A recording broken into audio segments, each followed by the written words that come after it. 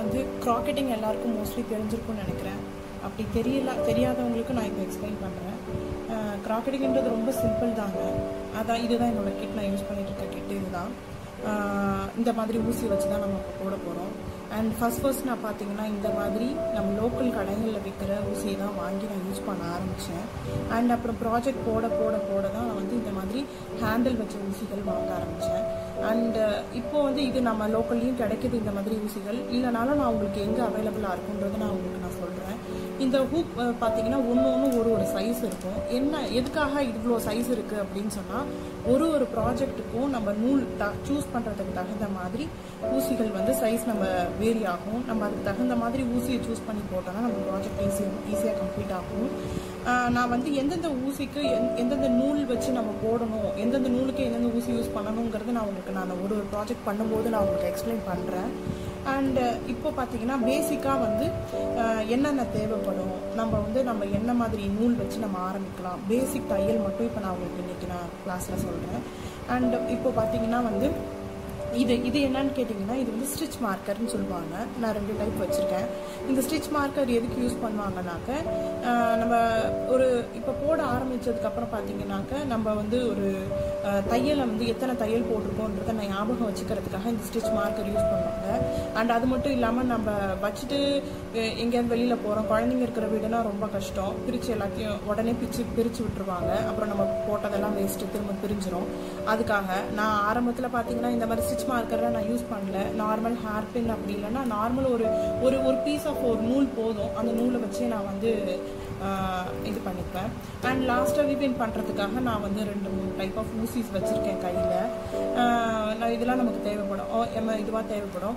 இந்த மாதிரி ஊசிகள் பார்த்தீங்கன்னா நம்ம லோக்கல் கடைகளில் பக்கத்தில் இருக்கிற நம்ம வீட்டு பக்கத்தில் இருக்கிற கடைகள்லேயே அவைலபிளாக இருக்கும். அண்ட் நம்ம அதே மாதிரி நூல் பார்த்தீங்கன்னா இந்த மாதிரி நூல்கள் வந்து நம்ம கடையில் கிடைக்கும். பக்கத்தில் இருக்கிற கடைகளில் அவைலபிளாக இருக்கும். இந்த மாதிரி நூல்கள் கிடைக்கும். நான் வந்து இப்போ பார்த்தீங்கன்னா இந்த மாதிரி ஹேண்ட் டைப்பில் நூல்கள் வாங்கிக்கிறேன். பண்டிலாகவும் வாங்கிக்கிறேன். இந்த மாதிரி ஹேண்ட்ஸும் வாங்கிக்கிறேன். நான் வாங்கிட்டு நான் அந்த மாதிரி ஒரு பண்டில் மாதிரி நானே ரோல் பண்ணிக்கிறேன். நம்ம என்னோட ப்ராஜெக்ட் தகுந்த மாதிரி நூல் வாங்கி நான் ரோல் பண்ணிக்கிறேன். இப்போ வந்து நம்ம பேசிக்கான கிளாஸஸ் நம்ம பார்க்கலாம். அண்ட் நான் நூல் எங்கெங்கே வாங்குகிறேன் அப்படின்றத நான் உங்களுக்கு டிஸ்கிரிப்ஷனில் கொடுக்குறேன். உங்களுக்கு வேணும்னா நீங்களும் வாங்கிக்கோங்க. இப்போ வந்து நம்ம பேசிக்காக நம்ம போ- ஒரு தையல் பேசிக் பேசிக் செயின்னு சொல்லுவாங்க. ஃபவுண்டேஷன் செயின்னு சொல்லுவாங்க. இப்போ நம்ம அது எப்படி போடுறதுன்றத பார்க்கலாம். இது வந்து கொஞ்சம் திக்கான நூல். நான் தெரியுதுங்களா உங்களுக்கு? இந்த திக்கான நூல் தகுந்த மாதிரி ஊசியை இப்போ நம்ம எடுத்துக்கலாம். இப்போ பாருங்க. இந்த நூல் திக்கான நூல்ன்றதுனால நான் கொஞ்சம் குண்டு ஊசி எடுத்திருக்கேன். இது வந்து ஃபோர் பாயிண்ட் ஃபைவ் மில்லிமீட்டர் கூப்புன்னு சொல்லுவாங்க. ஒரு ஒரு ப்ரா ஒரு ஒரு நூலுக்கும் தகுந்த மாதிரியான ஊசி. ஒன்றும் இல்லைங்க. என்ன வித்தியாசம்னு கேட்டிங்கன்னா இப்போது இது இதே நூல்லே நம்ம குட்டி ஊசி வச்சு நம்ம போடணும்னு வச்சுக்கோங்க. இங்கே பாருங்கள் இந்த ஊசி நல்லா பல்கியாக இருக்குது அண்டு இதுதான் ஃபவுண்டேஷன் செயின்னு சொல்லுவாங்க. இப்போ நம்ம எல்லாத்துக்குமே மூலாதாரம்ன்றது ஒரு ஸ்லிப் நாட்டுன்றது தான். இந்த ஸ்லிப் நாட் எப்படி போடணுங்கிறது இப்போ நான் சொல்கிறேன் இப்படி ஒரு லூப் மாதிரி ஒரு ஃபார்ம் இந்த லூப்பை வந்து இப்படி ரோட் சுற்றுங்க சுற்றி அதுக்குள்ளே விட்டு இப்படி வெளியில் எடுங்க. இதுதாங்க ஃபவுண்டேஷன் செயினுக்கு போடுற லூப்பு இதுதான் வந்து ஸ்லிப் நாட்டுன்னு சொல்லுவாங்க.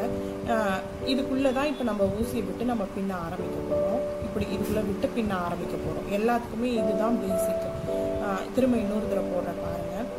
ஒரு லூப் மாதிரி ஃபார்ம் பண்ணுங்க. அந்த லூப்பை சுற்றுங்க இப்படி எடுங்க.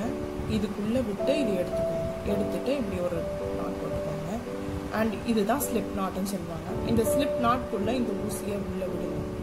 இப்போது இந்த ஊசிக்கு தகுந்த மா நூலுக்கு தகுந்த மாதிரி ஊசின்னு சொன்னேன் இல்லையா? இப்போ பாருங்கள் இந்த செயின் எப்படி போடுறது? பேசிக் ஃபவுண்டேஷன் செயின்னு சொல்லுவாங்க. ஒரு ஒரு ப்ராஜெக்ட்டுக்கும் ஒரு ஒரு ஃபவுண்டேஷன் இருக்குது இப்போது நம்ம எவ்வளோ பெரிய ப்ராஜெக்ட் பண்ண போகிறோம் அதுக்கு தகுந்தமான ஃபவுண்டேஷனை நீங்கள் போட்டால் தான் அது ப்ராஜெக்ட் கரெக்டாக வரும். இப்போ ஃபார் எக்ஸாம்பிள் நான் இப்போ உங்களுக்கு ஒரு பத்து செயின் போடுறதுக்கு சொல்லி கொடுக்குறேன். ஒரு சின்ன ப்ராஜெக்ட்டுக்கு செயின் எப்படி போடணுன்றதை பாருங்கள் ஊசி பிடிச்சிக்கோங்க. நூல் அப்படி எடுத்துக்கோங்க இப்படி பிடிச்சிக்கோங்க. ரொம்ப டைட்டாகவும் பிடிக்காதீங்க ரொம்ப லூஸாகவும் விடாதீங்க நூலை நார்மலாக லூஸாக டென்ஷன் இல்லாமல் வச்சுக்கோங்க. அண்ட் இப்படி ஹூக்கை எப்படி விடுங்க. நூலை எடுங்க உள்ள எடுங்க. பாருங்கள் நான் நூல் எடுக்கிறேன். இந்த ஹூக்குள்ளே விடுறேன் வெளியில் எடுக்கிறேன். இந்த ஹூக்கை எடுக்கிறேன் நூல் எடுக்கிறேன் இதுக்குள்ளே விடுறேன். இந்த மாதிரி இது தாங்க பேசிக் ஃபவுண்டேஷன் செயின்னு சொல்லுவாங்க. இதை திரும்பி போடுங்க. இங்கே பாருங்கள் இந்த மாதிரி. இதுதாங்க ஃபவுண்டேஷன் செயின் இதே மாதிரி கண்டினியூ பண்ணுங்கள் இதுதான் வந்து ஃபவுண்டேஷன் செயின் திருப்பி திருப்பி போடுங்க. உங்களுக்கே ப்ராக்டிஸ் ஆகும். இப்படி எடுத்து நூல் எடுத்து இதுக்குள்ளே விட்டு இப்படி போட போகிறோம் இதுதாங்க ஃபவுண்டேஷன் செயின் நீங்கள் வந்து ஒரு நார்மலான ஒரு குழந்தைக்கு ஒரு சட் ஸ்வெட்டர் போட போகிறீங்களோ இல்லை ஒரு ஷூ போட போகிறீங்க ஒரு ஹேண்ட் பேக் இல்லை ஒரு டேபிளுக்கு ஒரு கவர் போட போகிறீங்க எல்லாத்துக்குமே ஃபவுண்டேஷன் இதுதாங்க. இதுதாங்க ஃபவுண்டேஷன் செயின் நெக்ஸ்ட் வீடியோவில் வந்து உங்களுக்கு நான் அடுத்த அடுத்த என்ன தையல் இருக்குன்றதை உங்களுக்கு சொல்லித்தரேன். Oh, thank you.